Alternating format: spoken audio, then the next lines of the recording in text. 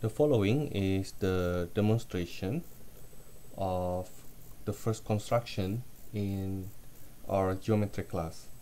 The first construction to construct a segment congruent to a given segment. Let's say for example we have this segment AB that we want to uh, copy. Now what we will do first, we will first draw a line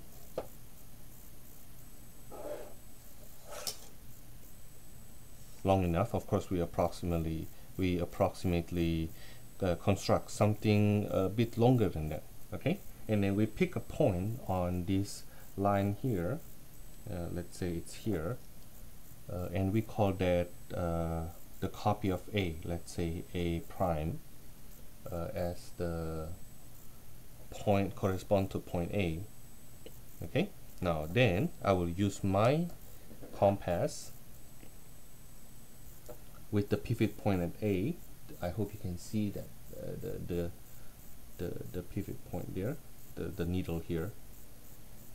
Okay? And then I try to swipe through B. Now I hope you can see that uh, I put a little arc there just to make sure that uh, my other leg of the compass is actually passing through pre uh, B precisely. Okay?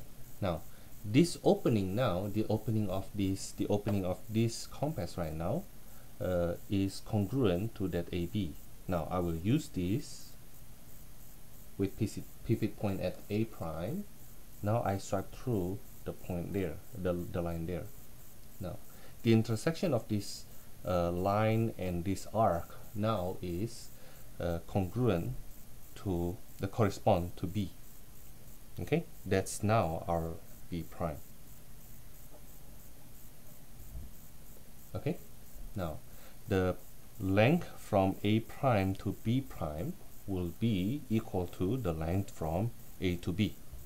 Why? Because the opening of the compass are the same.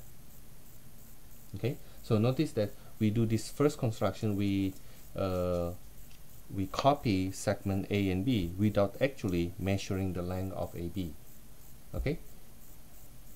Uh, in fact I use uh, just the straight edge here even though I have the measurement there but I use the stretch edge straight edge uh, uh and the compass to construct this segment A prime B prime which is congruent to the given segment AB okay now we can try again. This time uh, let's start from uh, very very uh, beginning. Suppose I have a line segment that I randomly do.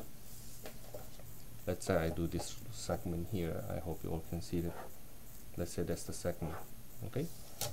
And let's call this uh, point C and this is point D.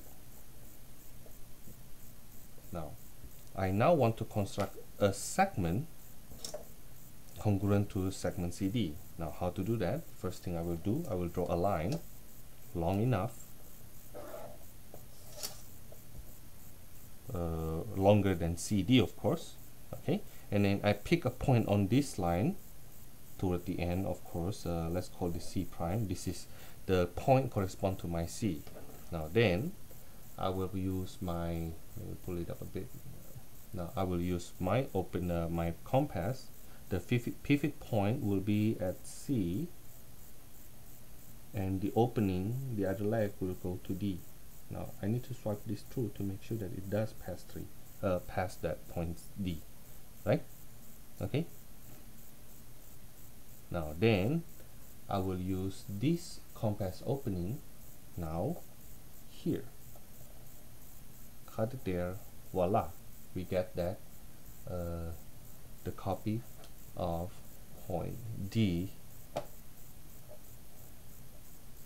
On this new uh, so so C prime to D prime here will have the same length to the original CD the length of CD because they have the same compass opening. Okay? This is for construction one. It is to construct a segment congruent to a given segment